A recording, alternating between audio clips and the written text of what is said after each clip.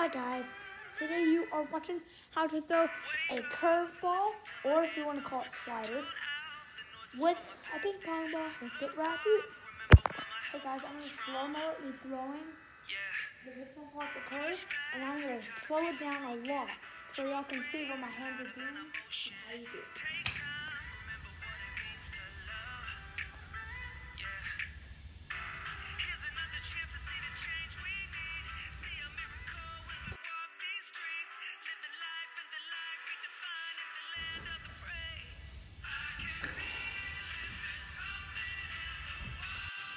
So you have to twist your hand like this. So rotating the ball to the right.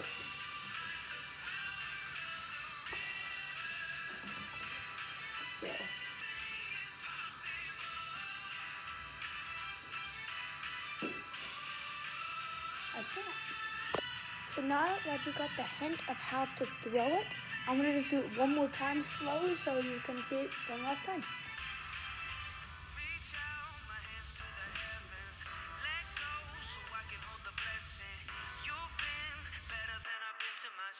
Yeah guys, that's how you throw a ping pong ball.